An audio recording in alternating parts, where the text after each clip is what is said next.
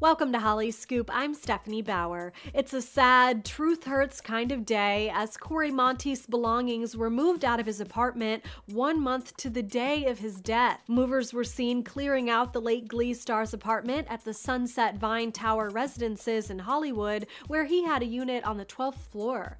According to E! News, three workers pulled up in a budget moving truck at around 10 a.m. and spent about four and a half hours hauling boxes and furnitures, including a desk and chairs out of Cory's place. It was previously reported that Cory was planning to move in with his serious girlfriend Lea Michele, upon his return from Vancouver. However, he passed during that very trip, overdosing on a deadly combination of heroin and alcohol. No word on whether Leah took any of his possessions to her own home, as we don't know where the moving trucks were headed. For more entertainment news, be sure to stick with hollyscoop.com.